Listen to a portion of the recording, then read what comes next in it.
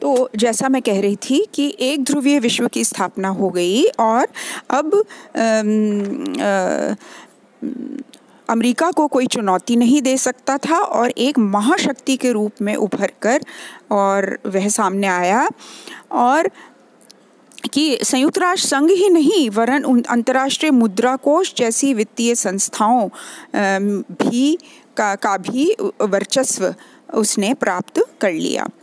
परमाणु हथियारों से संबंधित एक चिंता हमारी बढ़ गई, क्योंकि सोवियत रूस के विघटन के बाद रूस, यूक्रेन बेलारूस और कजाकिस्तान के हाथों में परमाणु बटन आ गया। तो इसलिए हमें ये पूरे विश्व को ये डर लगा कि क्या ये देश समुचित सुरक्षा कर पाएँगे परमाणु हथियारों की? तो ये एक डर हमें आ गया।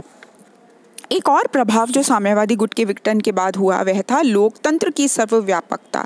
अब चूँकि साम्यवाद का अवसान हो गया, पराभव हो गया तो लोकतंत्र ही एकमात्र ऐसा विकल्प दिखने लग गया लोगों को, और जो नव स्वतंत्र राष्ट्र थे, वो अपने देशों में लोकतांत्रिक सरकार स्थापित करने लग गए।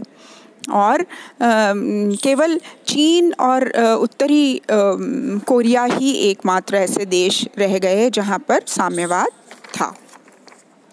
विचारधारा के आधार पर राष्ट्रों का विभाजन जो है, अब अब वो अप्रासंगिक हो गया, क्योंकि शीत युद्ध खत्म हो गया, साम्यवादी खेमे का अवसान हो गया।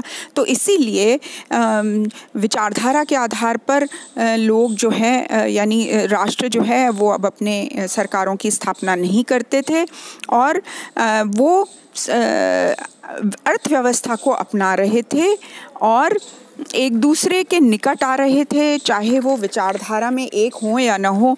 जैसे रूस, अमेरिका एक दूसरे के निकट आ रहे थे, अमेरिका, चीन निकट आ रहे थे, चाहे उनकी विचारधारा एक नहीं भी थी।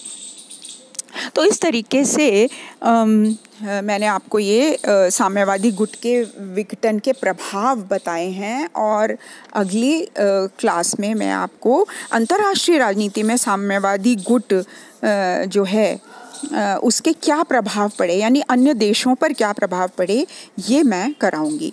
Okay? So thank you for today